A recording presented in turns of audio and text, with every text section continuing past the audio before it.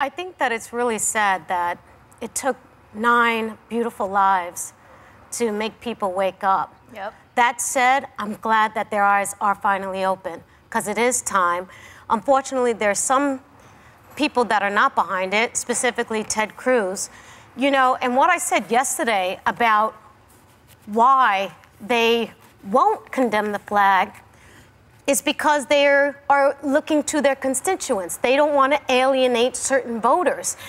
And John McCain, when he was running, he lost in 2000 to George W. Bush.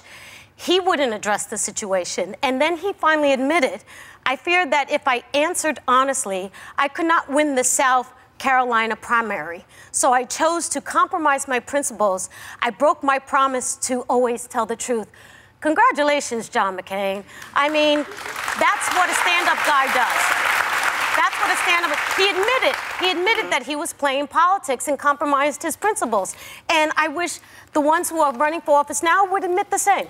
Well, let me just say, um, you know, I don't do this very often, but let me defend Ted Cruz. What Ted Cruz said was that um, was that he, he thought it was a state's issue. So it's not. Everyone it's not that. that. But it's not that Republicans and there are only a couple of them at this point, who, who didn't call for the rule of flag, were for the flag. They, they thought it should be left up to the state. And in the end, it was the state that solved this problem. So Lindsey Graham, who was right. here on the and day so, of the attack, so did John McCain. Senator John McCain did the same thing. He yeah. said it was a state yeah. issue.